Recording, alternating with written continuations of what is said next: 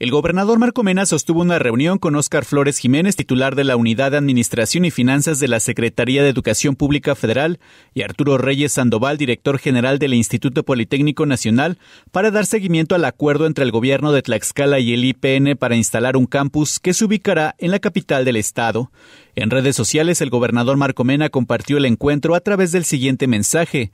Me reuní con Óscar Flores Jiménez, titular de la Unidad de Administración y Finanzas de la SEP, y Arturo Reyes, director general del IPN, para dar seguimiento al acuerdo con el gobierno de Tlaxcala para instalar el campus de ingeniería que próximamente tendremos en el estado. Como parte de estas acciones coordinadas, el gobernador Marco Mena encabezó este miércoles una reunión de trabajo con Francisco Javier Tagle Contreras, coordinador de sistemas académicos del IPN y enlace del instituto con el gobierno de Tlaxcala, y Roberto Lima Morales, secretario de Educación Pública del Estado.